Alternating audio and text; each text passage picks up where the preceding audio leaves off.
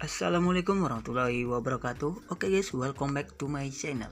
Oke guys, jadi di video kali ini aku akan membuatkan sebuah kontes lagi ya guys Kontes literasi yang seperti contoh di video awal tadi ya guys.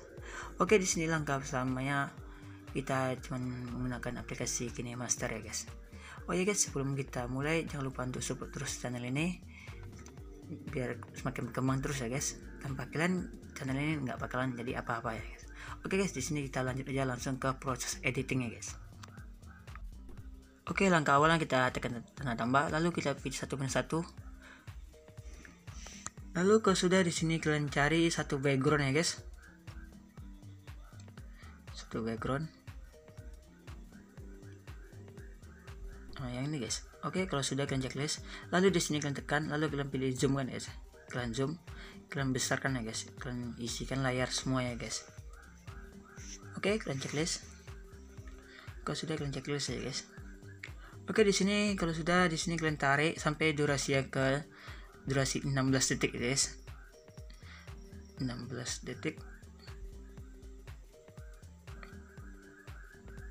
Oke, kalau sudah 16 detik di sini lalu kalian cari yang durasi 08 300 ya, guys. 08,300 Oke, di sini kalian cari aja. Oke, kalau sudah kalian potong ya, guys. Kalian potong bagi dua. Lalu di durasi ini kalian kasih tanda, guys. Kalian kasih tanda. Kalau sudah di sini kalian kasih efek transisi ya, guys. Di sini kalian cari yang efek transisi yang winner splash yang 03. Lalu kalian ubah durasinya ke satu ya, guys. Oke, guys, kalian bisa dapatkannya di di aset ini master ya, guys. Oke, kalau sudah di sini kalian tarik ya, guys, sampai yang durasi ke tanda warna ungu tuh Oke, kalau sudah di sini kalian langkah selanjutnya di sini kalian pergi ke paling awal. Lalu kalau sudah di sini kalian tambahkan media, kalian pilih latar, lalu kalian pilih latar hitam ya guys. Oke, kalau sudah di kalian pilih kalian checklist. Di sini kalian besarkan dulu ya guys, kalian besarkan. Oke, kalau sudah kalian besarkan, di sini kalian besarkan sampai 600 eh 6,641 ya guys. Oke, kalau sudah di sini kalian cari yang ini guys yang alpha opasitas oke kalian turunkan durasinya ke 30 ya guys oke 30 oke kalian checklist Oke, kalau sudah di sini kalian cari yang animasi keseluruhan ya guys. Kalian kasih yang berkedip-kedip ya guys. Oke, kalian checklist. Kalau sudah di sini langkah selanjutnya kalian tambahkan efek ya guys. Oke, di sini kalian bisa dapatkan efeknya dari Asset Master. Kalian cari yang nama efeknya zoom tumpang timping atau overlap zoom ya guys. Oke, di sini kalian checklist. Oke, di sini kalian besarkan. Oh, sudah kalian besarkan, di sini kalian lebarkan dulu ya guys. Kalian lebarkan. Lalu kalian potong ya guys. Kalian potong yang durasi 7922 ini, kalian potong ke kiri ya guys. Kalian pilih pangkas, lalu kalian potong ke kiri ya guys. Oke, kalau sudah di sini langkah selanjutnya kalian pergi pengaturan, lalu overlap numbernya kalian ubah ke 3 ya guys. Ketiga, lalu overlap distansinya kalian ubah ke 6 ke 6 ya guys. Oke, kalau sudah kalian ubah, lalu speednya ini kalian ubah ke 50 ya guys. 50 Oke, kalau sudah 50 di sini dan lalu prismnya ini kalian ubah ke nol ya guys. Kalau sudah kalian checklist ya guys. Oke kalau sudah di sini langkah selanjutnya kalian pilih yang di ujung ini. Oke lalu langkah selanjutnya kalian pilih latar lagi. Kalian pilih yang hitam. Lalu latar hitamnya kalian besarkan. Kalau sudah kalian besarkan di sini kalian cari yang durasi yang alpha opasitasnya guys. Lalu kalian turunkan ke 30 ya guys 30 Oke, kalau sudah kalian checklist.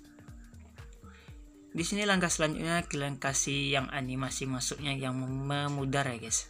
Lalu kalian ubah ke 1,5 ya guys. Oke, kalian checklist. Lalu di sini kalian tarik yang latar hitamnya sampai habis foto ya guys. Oke, kalau sudah langkah selanjutnya di sini kalian tinggal menambahkan apa guys? Uh, efek hamparan ya guys nanti kalian bisa downloadnya di link deskripsi. Oke di sini kalian cari yang menyampur. Oke di sini kalian pilih layar. Kalau sudah, kalian checklist. Lalu di sini efeknya ini kalian besarkan ya guys. Kalian besarkan. Lalu di sini kalian kasih yang animasi masuk ya guys. Tekan efeknya. Dan kasih animasi masuk ya guys. Kalian kasih yang pop ya guys. Yang pop. Lalu kalau sudah kalian checklist lalu langkah selanjutnya di sini kalian tinggal menambahkan apa ya guys? Kata-kata lagi ya guys. Oke di sini kata-katanya setelah kalian mau pakai apa aja setelah kalian ya guys.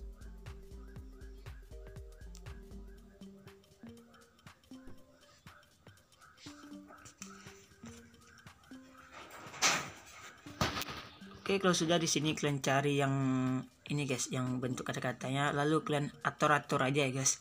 Saya suka hati kalian ya guys, gimana bentuknya saya suka hati kalian. Oke, kalau sudah di sini kalian tata letaknya kalian ubah ya guys. Ubah. Lalu di sini kalian kasih animasi apa ya guys? Animasi masuknya yang memudar ya guys lalu kalian ubah ke tiga ya guys oke kalau sudah kalian checklist. Lalu langkah selanjutnya di sini kalian tambahkan hamparan ya guys. Oh ya guys di sini kalian cari hamparannya yang ini guys yang hitam putih hitam dan putih dua ini guys. Lalu kalian cari yang ini guys yang gambar kepala ini. Lalu di sini kalian besarkan dulu sampai habis ya guys. Kalau sudah kalian besarkan lalu kalian kecilkan. Kalian sesuaikan letak-letak ya guys setara kalian ya guys mau letak di mana setara kalian kalian atur aja posisi ya guys